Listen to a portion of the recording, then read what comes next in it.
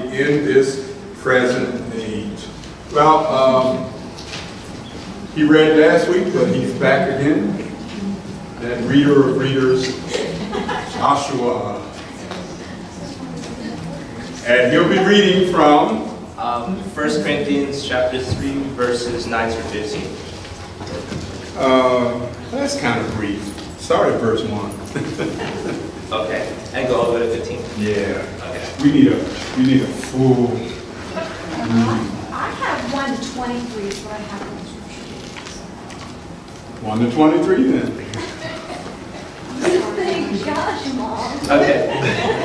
All right. I think that's what I originally gave It's in the anyway. book. It's a whole chapter, right? Yes. Yes, the chapter. You know, we do chapters here.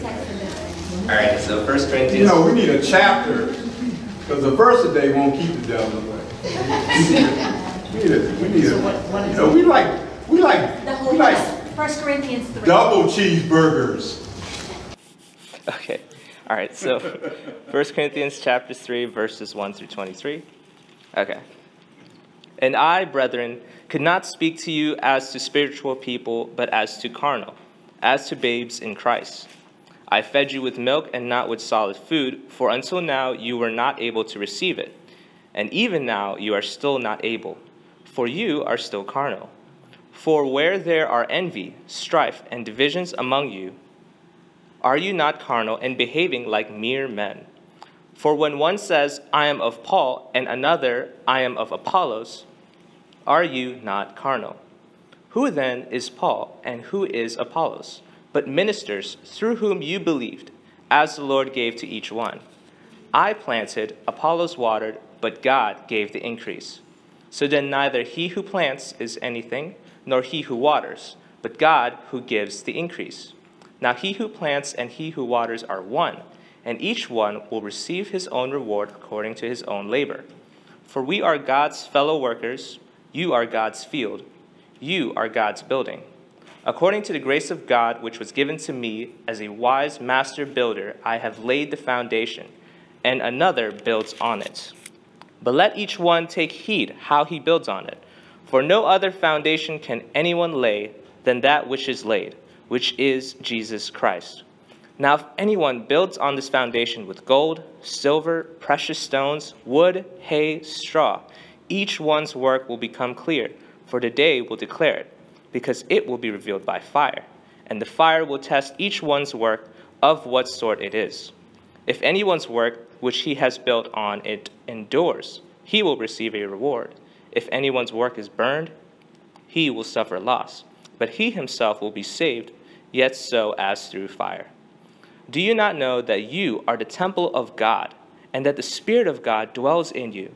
If anyone defiles the temple of God, God will destroy him, for the temple of God is holy, which temple you are. Let no one deceive himself. If anyone among you seems to be wise in this age, let him become a fool, that he may become wise. For the wisdom of this world is foolishness with God. For it is written, He catches the wise in their own craftiness. And again, the Lord knows the thoughts of the wise, that they are futile. Therefore, let no one boast in men, for all things are yours, whether Paul or Apollos or Cephas or the wor- world or life or death or things present or things to come, all are yours. And you are Christ's, and Christ is God's. Amen. Amen. It's an encouragement to all of us um, because we're all in, at uh, different stages of life. We all have different issues that we're dealing with. And, um, some we make public and others we don't. But God is for us, not against us. The key is, are you with God? Do you know Him the pardon of your sins? Because He's for those who are with Him. And every believer, absolutely every believer, outside of John 3.16, which is the most well-known verse in the Bible, every believer knows Romans 8.28. And we know that all things work together for good to them that love God. Word is, do you love God? To them that love God, to them who are called according to purpose. See, we know that he's working all things together for our good. Not everything that we go through is good. There's evil that comes at us. Joseph acknowledged that in Genesis 50, 20. He told his brothers, you meant it for evil. He didn't minimize that. He said, but God meant it for good. Amen. So he did not have any envy or any uh, malice in his heart toward his brothers. Because he came to realize that what the, the evil they did to him, God used that for his good and the good of his family. He was able to save the nation of Israel through that seven-year famine, which wiped out a whole lot of people. So God's at work in our life, we just got to keep Him as the focus. As I've often said on many occasions, the question is who and what, not why. God rarely answers why questions, and Satan will use why questions to drive you crazy. Because God's not coming answering why questions for the most part. It's always who and what. And though the answer to those two never change. Who? God. He's the sovereign ruler of the universe. That's why we're doing this extended study in, in Genesis to remind ourselves God's in charge, not most of the time, some of the time, or when things are going our way, but all the time. And you got you got to believe that. You got to exercise faith in that because listen, there's a lot of evil that's going on in the world, and we run up against it personally. We deal with physical and, and, and emotional and mental issues personally. But who? God's in charge. And what? What is he doing with all the things that are going on in your life? Romans 8 29. Romans 8 29. See, he works all things together for good to them that love him. For whom he did foreknow, he did predestinate to be conformed to the image of his son. So why are you going through this? Why are you going through that? Because God is conforming you to the image of his son. That's what it's all about. He's, he's working through the situations, circumstances, disappointments, heartaches, the trials, troubles, difficulties, to make you more like his son, Jesus Christ, in your character and in your conduct. That's what it's all about. That's why you have all of those difficulties, tragedies, trials. And so James can say to us in James chapter 1, count it all joy when you fall into different trials. How can I do that? Because I know that God is at work in my life conforming to the image of Christ. Listen, when you're chipping stuff off, it hurts. It hurts to go through those things. But God is making you into the image of His Son. He's improving you and I. It's called sanctification. And so the believer never has to wonder why this happened to me and why that happened to me. God is conforming you to the image of His Son. He's already given us the answer. Is it easy? No. Will you experience difficulty, pain, heartache? Yes. But Jesus learned obedience through the things He suffered. And First Peter teaches us very clearly that suffering is God's will for believers. It's not this health, wealth, and prosperity nonsense that's touted over the television by these television preachers and all this. Everything's not going to go your way because you trusted Jesus. Everything ain't going to work out the way you like it. But God does promise that He will work everything together for your good. Now the question is, do you believe God or do you believe or you, do you not believe God? And when you trust God, the joy of the Lord, Nehemiah 8.10, becomes your strength.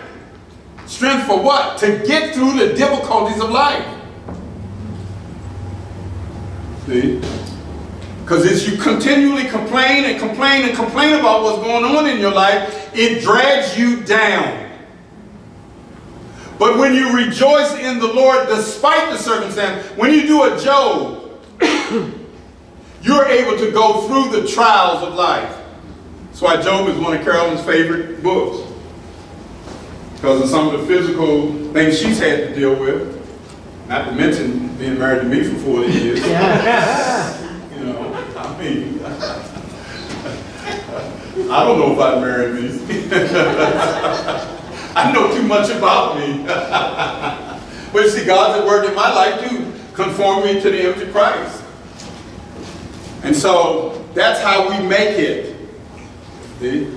It's a real faith in a real God that we can't see. But it's not make-believe, it's not pie in the sky, it's not by and by till I get to heaven.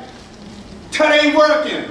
I need something that's going to help me now. And I need truth that will set me free. And that's what the book of the, that's what the Bible is all about. It's God's truth to set you and I free. So that we don't walk through life in fear. We walk through life by faith. We trust God.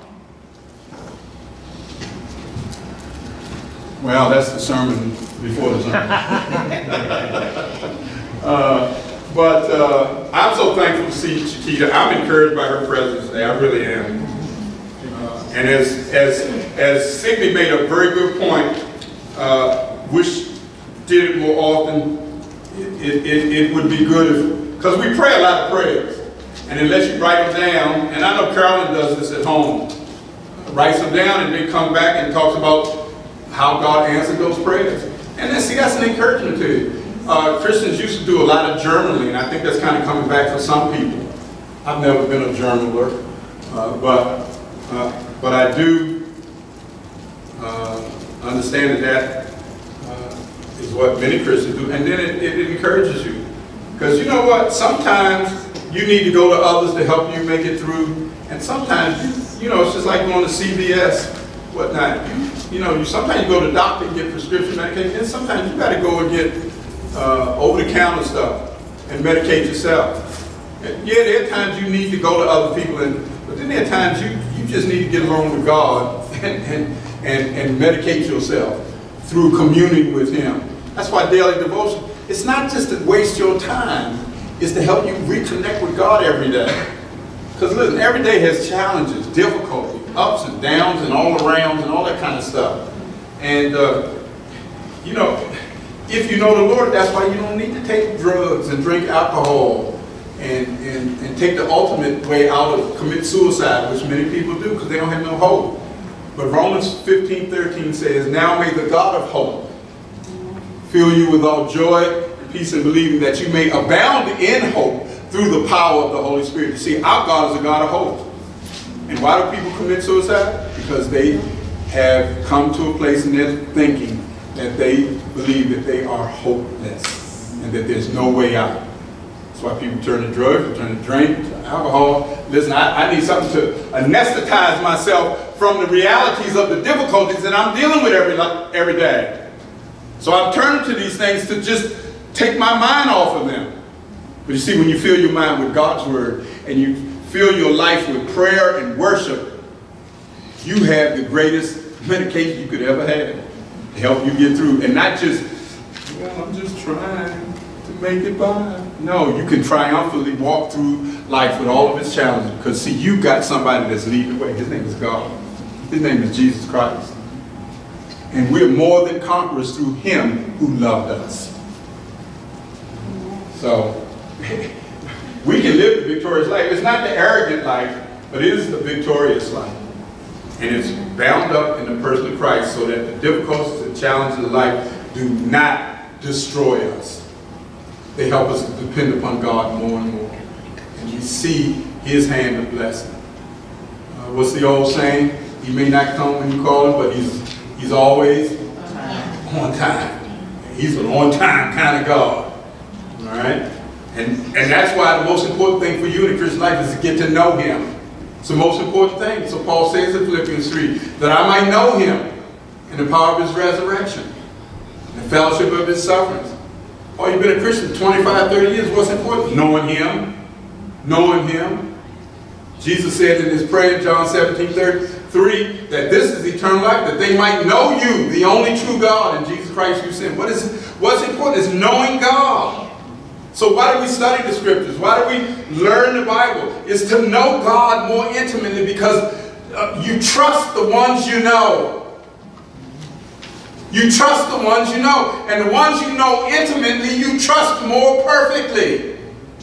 And so the more we get to know God, we will trust Him more. And so it doesn't depend on us and our abilities. Listen, we're getting older, we're getting limited. Man, it's just, uh, it's, it's, it's rough. I got leg ailments, I got back ailments, I got all kind of ailments now. That I ain't know nothing about 20, 30 years ago.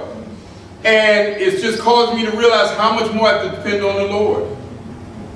Because see, my physical strength is waning as I get older, and it's going to keep waning.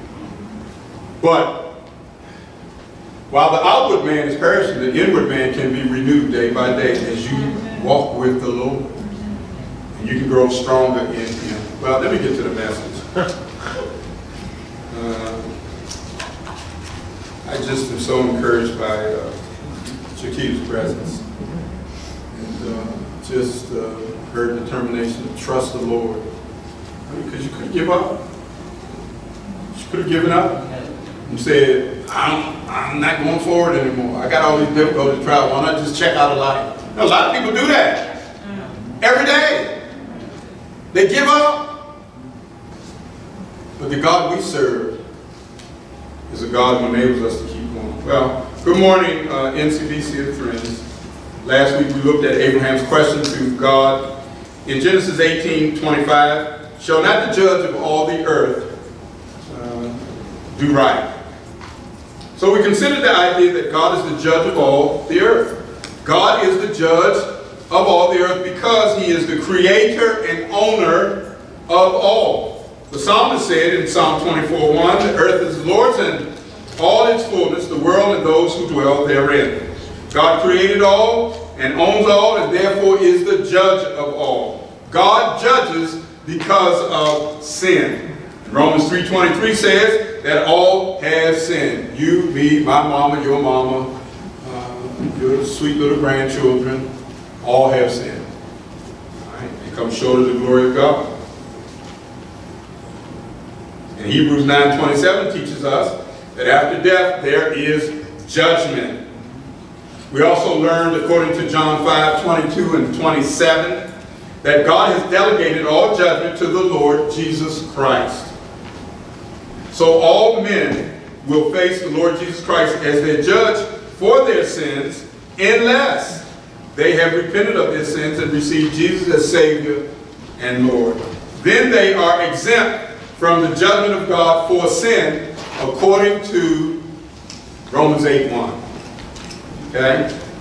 We closed last week's message uh, stating that there are judgments to come in the future, and I want to discuss at least four of them uh, in the next few messages.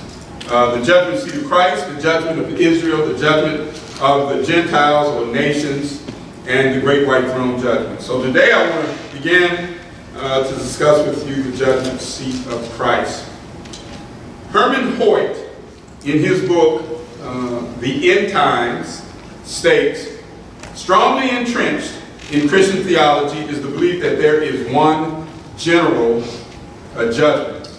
But an intense, inductive study of the scripture material uh, displays the fact that this cannot be true, end quote. In researching uh, this issue of judgment, I found that non-dispensational theologians had this view. Contemporary theologian uh, Millard Erickson in his systematic theology and Wayne Grudem uh, in his uh, systematic theology are held to this view. Uh, Wayne Grudem uh, in his systematic theology states this, according to a dispensational view, there is more than one judgment to come, a judgment of the nations, a judgment of believers' works, and a great white throne judgment, three different judgments. But Grudem further states uh, uh, this. The view taken in this book, that is his systematic theology, is that these three passages all speak of the same final judgment, not three separate judgments, end quote. Um, and uh, uh, that's the view of many. Uh, I, I, know um, the uh, minister's manual and if you've been to any funerals, and especially at the graveside, uh, many ministers read through one famous, uh, well-known minister's got their newer versions that have come out, but this is sort of a standard. And uh, it talks about the general judgment and the general resurrection. And I've crossed those out because I don't believe either there's a general resurrection or a, gen or a general uh, judgment. but that's the view uh, of uh, many. On the other hand, uh, theologians such as Paul Enns, in his uh, book, The Moody Handbook of Theology, Lewis Sperry Chafer, founder of Dallas Theological Seminary, in his eight-volume systematic theology, and Charles Ryrie, in his basic theology, which was a new book in 1985 when I was taking uh, theology courses right up the street here at Washington Bible College. Uh, and that was the, uh, the theology book that we used at that time, Charles Ryrie's basic, basic theology. Uh, they all teach that there are multiple, that is, different future judgments. So, my position, my belief, is that there are multiple future judgments, not just one general final judgment to come. So again today I want to discuss uh, what I believe is the, is the first of those to take place, and uh, it's known as the judgment seat of Christ. So as you can see from your insert, you've got two points I'd like to go through. Uh, first is declared. And so, if you have your Bible, turn to Romans 14, 10. Romans 14, 10.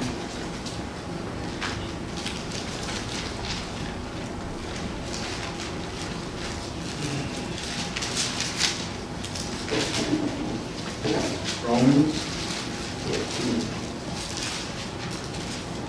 14, 10. And it says, But why do you judge your brother, or why do you show contempt for your brother? For we, please note that pronoun, I'll say something about it in a minute. Uh, we shall all stand before the judgment seat of Christ. Now turn over to 2 Corinthians chapter 5 and verse uh, 10.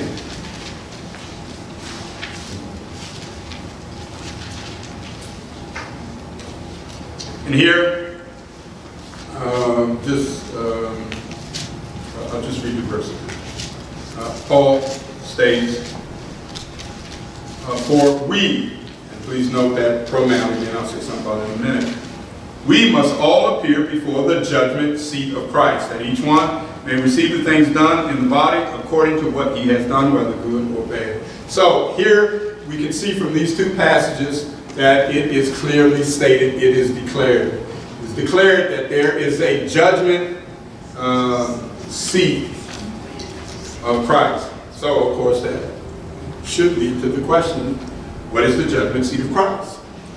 Paul Enns, in his uh, theology book entitled the uh, Moody Handbook of Theology, has a helpful glossary.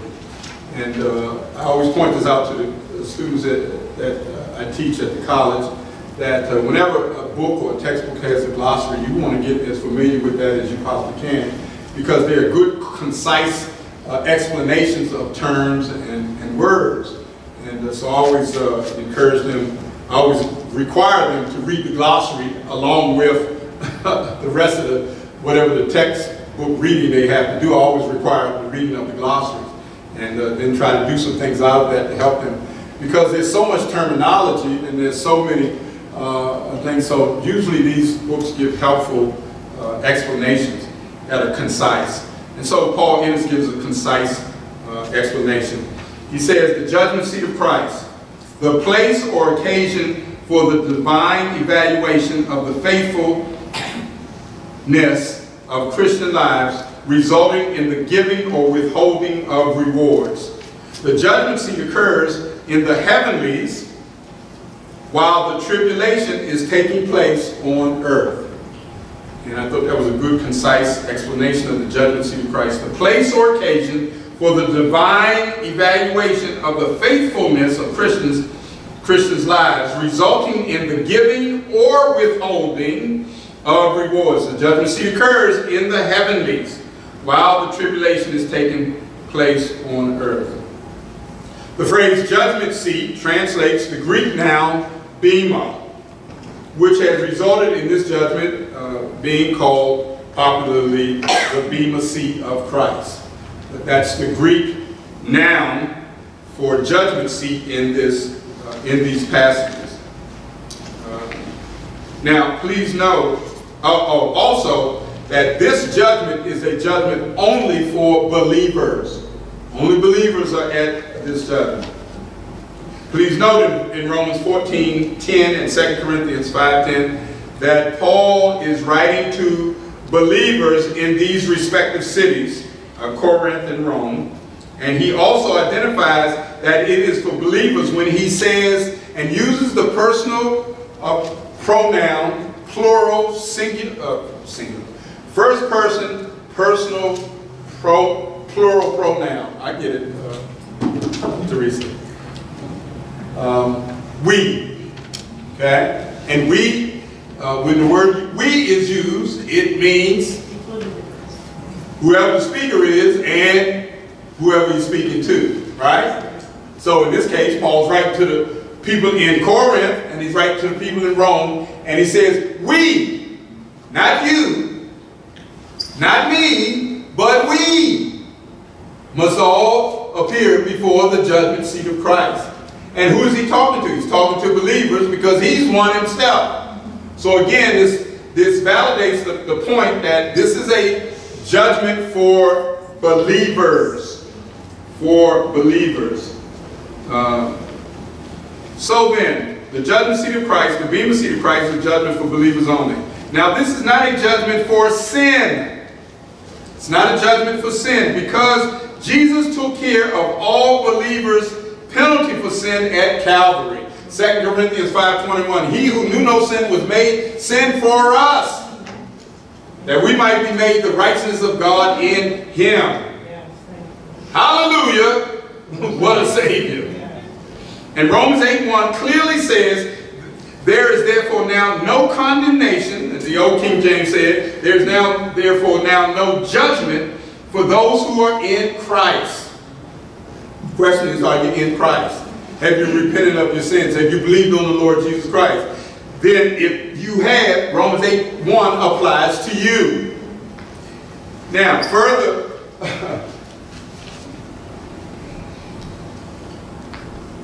validation of this point comes from the very lips of Jesus. John chapter 5, verse 24.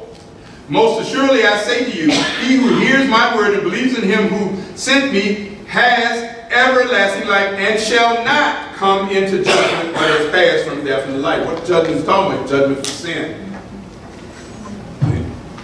He's removed our sins, the psalmist said in Psalm 103, as far as the east is from the west. And he's not bringing them up at the judgment seat of Christ. See? That's why we can say confidently to him, Jesus paid most of it. Paid it all. Paid it all. Well, Pastor, uh, uh, what about my future sins? Well, let me tell you something. When Jesus died on the cross, all your sins were in the future. What are you talking about? My future sins. Uh, all your sins were in the future. You hadn't even been born yet and committed them sins. And guess what? He'd already paid for them. Okay? So don't get twisted. Well, what about my sins since I, I, I, I became a Christian? Listen, he paid for them all, not most of them. Now, here's what here's the disclaimer, I guess, in some sense you got to give. Many people don't like the doctrine of grace because they think it gives people a license to sin. No, it doesn't. Not true believers. True believers understand that they are saved by the grace of God. They're so thankful for that that they want to live an obedient life. They're not planning on sinning all they can because they're saved by grace. That person is not saved by grace. Because they're operating from an evil heart. Not a heart that's been changed by God. Now, that doesn't mean as Christians we don't sin. You sin, I sin, all of the sin, so don't lie to yourself. All right, 1 John 1 8. If we say we have no sin, we deceive ourselves. We ain't nobody else. God, you ain't, certainly ain't deceiving God. You ain't deceiving, Uh, especially if you're married, you ain't deceiving your husband or your wife. but they live with you every day, you sinner, you. They be thinking anyway. If they don't say it out loud. All right? But, listen. That's why we go to 1 John 1 9. So what is the issue of the sins of the believer? The sins of the believer are family sins. It's not the judicial sins that would be dealt with in a court of law. See? God's our heavenly Father. We're not just dealing with him as the judge and we're the condemned person that's coming to the courtroom. No, that was dealt with when Jesus became our substitute. We're in his family. He's dealing with his family. God, whom the Lord loveth, he chasteneth. Okay? And that's why in this life, listen to me very carefully, in this life, God deals with our sin. Okay? So here, let me put this to rest for you. Why is it these unbelievers doing all this sin that God ain't dealing with? Because it ain't his time to deal with them. There's a judgment coming for them that they're, they're going to uh, uh, um, meet the Lord. But see, he's dealing with his family. And you and I who uh, claim Jesus as our Lord Savior, he deals with us right now. That's why if you don't confess your sins, God says, let me, let me, let me do a little spanking. Let me, let me get your attention. Let me break something. Okay? Because see, we don't hear too well. And when things are going our way, you know, it's, it's okay. God will understand. No, he don't never understand sin. Did you understand the disobedience of your children when they were growing up? Well, I understand, John. Just slap me one more time. You're right. Johnny got a backhand. You know, all this send them to time out, a bunch of nonsense. As my wife likes to say, uh, you go to time out and sit in the corner, and she likes to say, yeah, the kids walk over and say, yeah, I'm gonna do that again, Jack. God said, spare the rod, spoil the child. So guess what we got? A couple of generations of spoiled children. Because everybody listening to Dr. Spock and all these other people with this psychological mumbo jumbo. And God says, I, I made some padding, and you need to make some water, and they'll make a change. But see, we don't agree with God. We got a better way. And that's why we got the mess in society we got today. You crossing the street there when three teenagers come, instead of them crossing the street or changing their language when you get up on top of them. They ain't afraid, scared of you anymore. Because we have put the fear of God in them. Just let them run amok. So we got all of the nonsense that we got going on today. And we only have ourselves to blame. But we didn't listen to God. We didn't agree with God. We didn't do it God's way. We got a better way, and the better way has led to the mess we have today. Well, Jesus paid it all. So then the judgment seat of Christ is not a sin judgment resulting in eternal punishment, but a works of believers' judgment resulting in reward, as stated in 2 Corinthians 5, 10. Quickly described. Turn over to 1 Corinthians 3.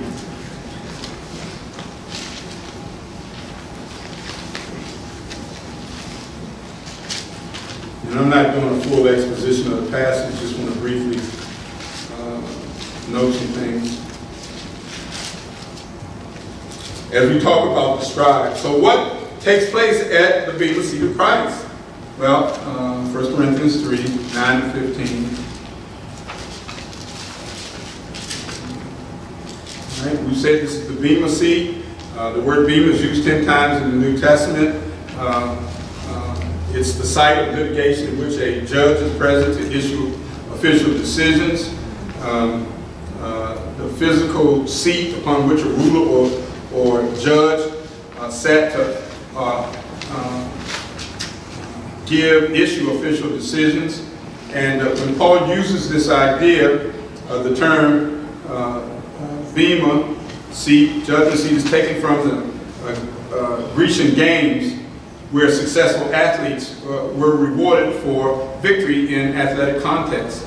And so Paul uses the uh, figure to uh, denote the giving of rewards to church age uh, believers. So in 1 Corinthians uh, 3, uh, 9 through 15, Paul states that he and others were God's workers. The Corinthian believers were God's field, God's building, and that by the grace of God, he had laid the foundation of Jesus Christ among them through uh, the preaching of the gospel. Christ is the foundation upon which all believers ought to build their lives and serve the Lord. The materials used according to verse 12 are high quality and low quality materials. Six uh, items are uh, noted. Paul says each one's works will be made known for the day. You see that in verse 13? We'll declare it. What day is he talking about? The, the Bema seat, the judgment day, judgment of the believers. Because that's who he's talking to. Because day will declare it. The Bema seat of Christ will reveal it. Those of high quality, uh, and in this uh, figure that he's using, uh, like gold, silver, and precious stone will survive fire, meaning that they are works, good works, that will be rewarded. But the low quality works of wood, hay, and straw will uh, burn up and not result in rewards, yet the person is saved, uh, which is uh, what he says in verse 15. Verse 15, they will suffer the loss. That is, they will forfeit the rewards that they could have received because of faithful service to Christ, faithfully living out their faith. God has already prepared the good works he wants each believer to do. Ephesians 2.10 For we are his workmanship created in Christ Jesus unto good works which God hath before ordained that we should walk in them. God has already prepared what he, he wants to get out of your life and mine. Already. So what is the Christian life? It's about discovery. It's discovering what God would have me to do and then doing it. Well, how do I discover what God wants me to do? I have to, first of all, trust Christ as my Savior, become a believer, and then I need to read, study, and obey the Word of God. And as I live my life, God directs me in the way that He would have me be. First, it starts with be, being a part of some local church. Got a lot of people today that think they that God's okay with them floating and uh, not being committed and involved. Listen, they're going to be sadly disappointed when they meet Him. Because you see, Jesus died for the church. It's not a trivial thing to Him. It's an important thing. In fact, you want to know what Jesus is doing in the world today? Matthew 16, 18. After Peter makes his confession, what does Jesus say? Upon this rock, I will build my church the gates of hell So what is Jesus doing in this age through the Holy Spirit? He's building the church. He's building the church.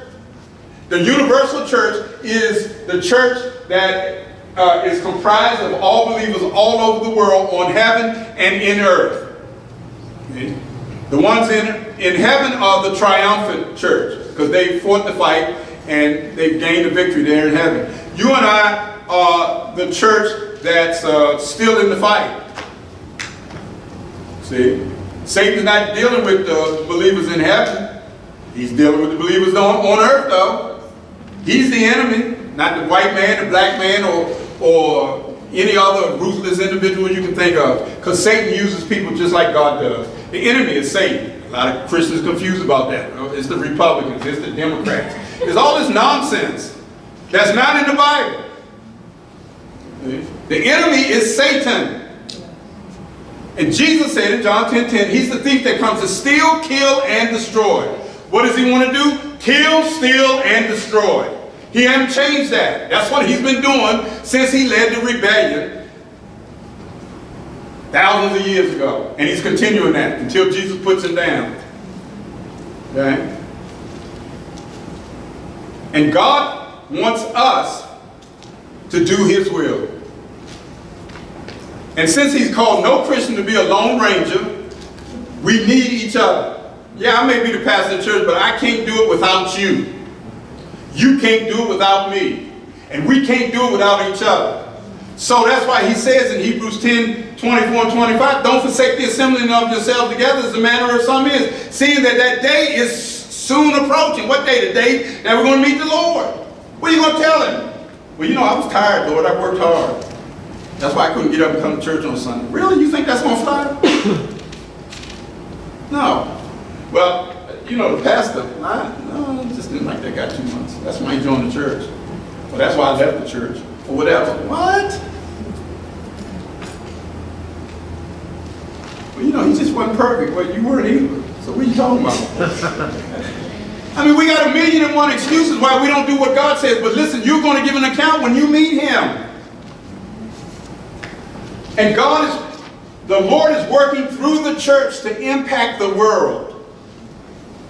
And many Christians don't understand that. That's why they're, they're not a member of a church, they don't contribute to a church, they're not involved in the church's ministry, they're not supportive of what the church is doing. It's, hey, it's about me and, and my walk with Jesus. No, I'm sorry. That, that's a misreading of the Bible. It's about us and our walk with the Lord. It ain't about just you. It's about us. And God's going to evaluate us on that. See? Because God has gifted every believer. Every believer has a spiritual gift. You have one, and I have. At least, we all got at least one, and God intends for us to use them. And the main focus of spiritual gifts are to be directed toward other believers in the house of God. And you can't be exercising your gift toward me if you ain't here. It's all right. It don't work like that. What do we do with people outside the church? We evangelize. Because they're lost. They're going to hell. And doesn't matter who they are and how much you love them and what you think about them. It doesn't matter what their position in life is and what they have achieved and obtained. They're going to hell. And so our responsibility is to share the gospel with them. Pray for them. Pray that they get saved. Because apart from that, they're not getting into heaven. So God has already declared what he wants us to do. It's a matter of discovery. As I walk with the Lord in obedience, I discover what he wants me to do. I'm using my gift to build up my brothers and sisters in, in Christ. Uh, and uh, we're growing stronger as a, as a people of God. See, God's never been impressed by numbers. He's always impressed with faithfulness. So that's why I don't get upset that we don't have every, every seat in here filled. I can care less about that. What I care about are the people who come and are part of the church, are they faithful? So that we can accomplish the work of God that he's given us to do as a church. That's what I care about. That's what I pray about. That's why I pray for you. And I pray that you'll be faithful.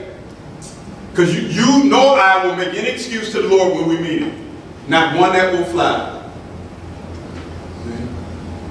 And uh, does commitment involve sacrifice? You better believe it does. All of us know that from going to our jobs. Did you go to work every day you felt good? Did you only go to work when you felt good? You know, I don't feel good today. I'm taking a mental health day. I did that back in the 80s, burned up all my leave. We never went on vacations, but I burned up my, man, I don't feel good today. I ain't going to work. Hey, Paul, that was my supervisor. I don't, I, I don't feel good today. I, will see you tomorrow. I burned up so much leave in the 80s. I took these mental health days all the time. I ain't, Thankfully, I losing my job. But uh, I burned up all my leave. I, I, remember people retired, and I worked there 18 years. And people retired from the job, and they had thousands of hours of leave that they got paid for. I got zipped. Because I'm taking all these mental health days. No, I don't feel like going in today. No, I don't know what was on TV. Could have been that much in the 80s. I mean, how much laying in the bed can you do? But people take this sort of cavalier attitude toward the church. Well, I'm here, I'm not here, I'm, uh, I'm sorry, you're going to give an account to God. And how do we accomplish? You know, that's like a husband coming up, well, honey, you know, I'm so thankful I'm married to you. But you know, I, it's Wednesday, honey. I'll, see you Saturday when I come back. Don't even think that marriage going last. or the wife said, you know, honey, man, it's Tuesday, and I just, I just feel like I need a week out with the girls. So I'll see you come Sunday. really?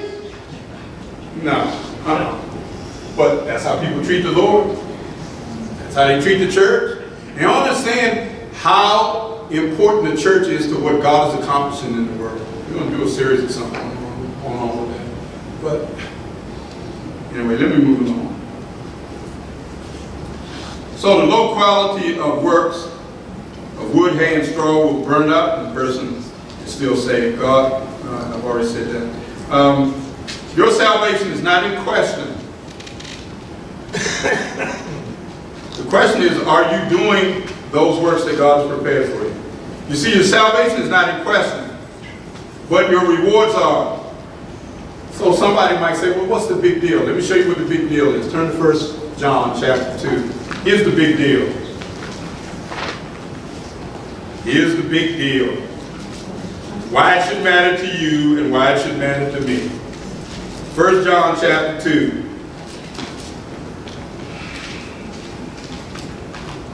Verse 28.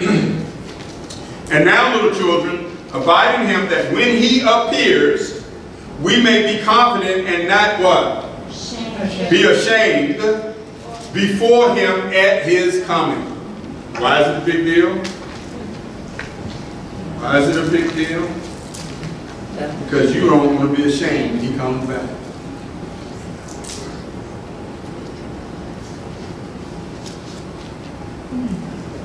Why will any believer be ashamed at the Lord's coming? Because he or she was not faithful, was not obedient, did not serve the Lord as instructed and commanded in the Word of God. Yes, some Christians will be ashamed because of their lack of obedience to the Lord. So NCBC, are you obedient to the Lord? Are you doing the Lord's will? Are you living for Him each day? He desires to reward us. And we don't have time to look at these, but you can jot them down. 1 Corinthians rewards. 1 Corinthians 9, 25. 1 Thessalonians 2, 19. 2 Timothy 4, 8. James 1, 12. 1 Peter 5, 14.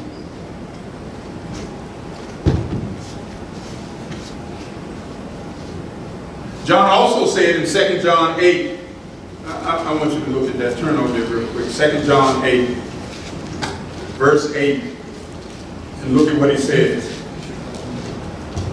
John writing to these uh, believers, he says, Look to yourselves that we do not lose those things which we work for, but that we may receive a what? Full reward. Full reward. See, some Christians only going to get partial reward because they were partially obedient. They weren't fully obedient. And so you may be ashamed.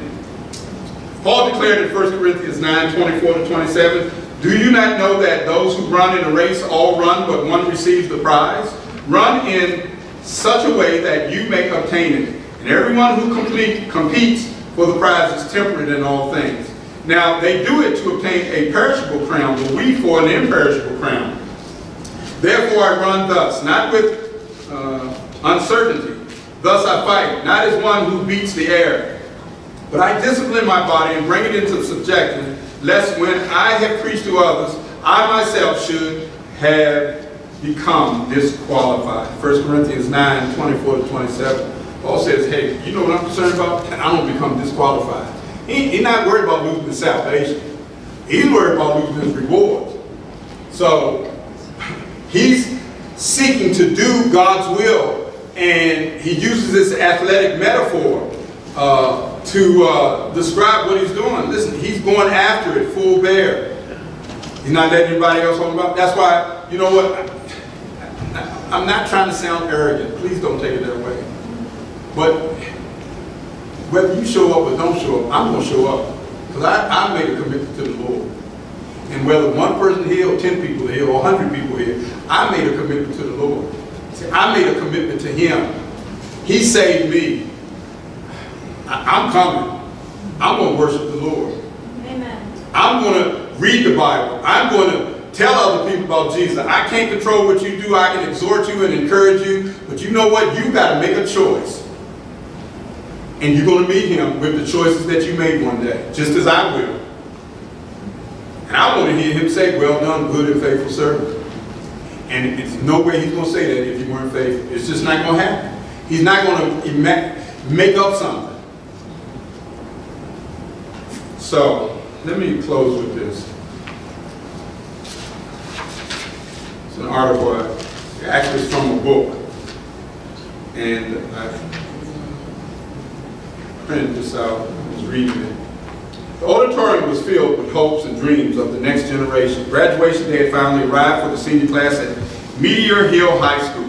With it came the individual stories of the young men and women who hoped to tackle the world.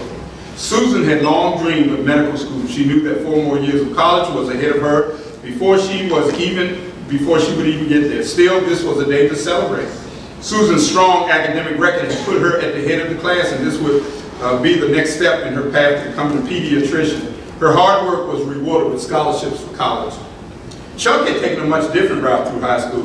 His future was never his focus. Chuck spent his free time with his friends, seemingly without a care in the world. This changed his junior year when a guidance counselor finally set him down. Chuck was not on course to graduate, which meant that getting into a trade program to become a mechanic would have been out of the question. The final two years of high school, Chuck had buckled down and pulled his grades up. He was not proud of his grades throughout the years, but he was relieved that he had made it to graduation day. A terrible event in the life of Brett and his family to, uh, and his, a terrible event in his life led Brett and his family to celebrate this day. A year earlier, he had been involved in a car accident with some of his classmates. Brett was the only one with serious injuries. The smashed car collapsed on him and crushed his bones. He had, all, he had always been a good student and planned to attend college, but now rehabilitating his body took priority. It was a testimony of his determination to see him walk again. His parents were thankful that Brett was even alive and able to graduate. It has been correctly observed that the judgment seat of Christ can be compared to a graduation ceremony. Samuel Hoyt summarized the great teaching of the judgment seat of Christ in a way that is exceptionally clear. And I quote, the judgment seat of Christ need be, be compared to a commencement ceremony. At graduation, there is some measure of disappointment and remorse that, remorse that one did not do better and work harder. However, at such event, the overwhelming emotion is joy, not remorse. The graduates do not leave the auditorium weeping because they did not earn better grades. Rather, they are thankful that they have been graduated and they are grateful for what they did achieve. To overdo the sorrow aspect of the judgment seat of Christ is to make heaven hell. To underdo the sorrow aspect is to make faithfulness inconsequential. NCBC, we will all stand at the judgment seat of Christ. All our works as Christians will be judged. What we did for Christ in the power of the Spirit will be rewarded. What we did in the flesh and for self will be burned up and unrewarded. Let me challenge you today to faithfully serve Christ and encourage you who are serving Christ to continue in faithful service, doing the good works he prepared for each one in Christ Jesus, our Lord. Father in heaven, thank you for this brief message on the judgment seat of Christ. May it motivate us, for we will all give an account. And uh, we want to hear you say, well done, good and faithful servant. So Lord, forgive us of our sins, cleanse us from our unrighteousness. Forgive us for a lackadaisical attitude toward you, to your word, toward the church. And help us uh, to be committed to you fully and completely, to be involved in the local church, to serve you, to serve our brothers and sisters in Christ, and to take the good news of Jesus Christ to our neighbors, our friends, our loved ones who are unsaved. Lord, one day we'll give an account. And Lord, we want to be found well-pleasing in your sight. I pray your blessings in Jesus' name. All right, CJ and Joshua are going to uh, give you a chart you can look over. And this is the basis of what we're going to be doing uh, for the next several weeks.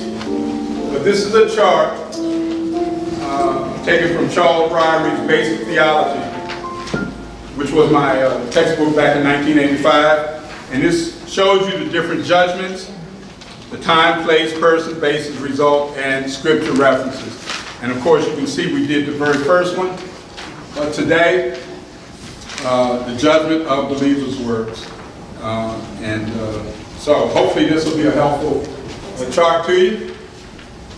And uh, if you keep up with it, put, like, put mine in my Bible. We'll be looking at this issue for um, next several uh, weeks. All right. Um, Is this for Sundays? For Mhm. Sundays or for Bible study? no, Sundays. Right.